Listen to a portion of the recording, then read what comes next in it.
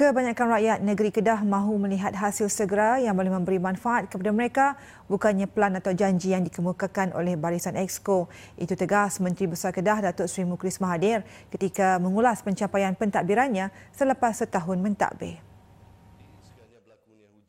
Jelas Mukris, beliau dan Barisan Adun Pakatan Harapan PH kini berusaha untuk melakukan apa yang terbaik bagi memberi manfaat secara langsung pada rakyat Kedah Walaupun tujuh daripada sepuluh manifesto kerajaan Kedah yang dijanjikan sebelum PRU14 telah ditunaikan dalam jangka masa setahun. Kita mesti selalu fikirkan bahawa apa yang kita buat itu memberi manfaat secara langsung kepada rakyat. Um, saya tahu bahawa ada banyak perancangan kita yang yang long term ini tapi uh, yang itu pun perlu kita terangkan kepada rakyat apa yang kita tengah buat dalam tempoh yang jangka masa panjang uh, uh, apa manfaat yang akan dirasai oleh uh, rakyat.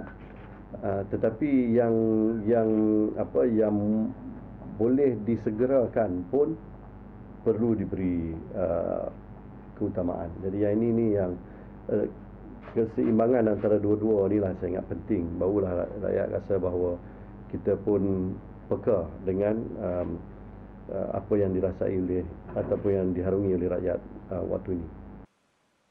Tambahnya rakyat perlu diberi pemahaman sebaik mungkin berkenaan pelan kerajaan negeri serta menjadi barisan hadapan bersama Exco menghadirkan kejayaan demi kejayaan buat Kedah.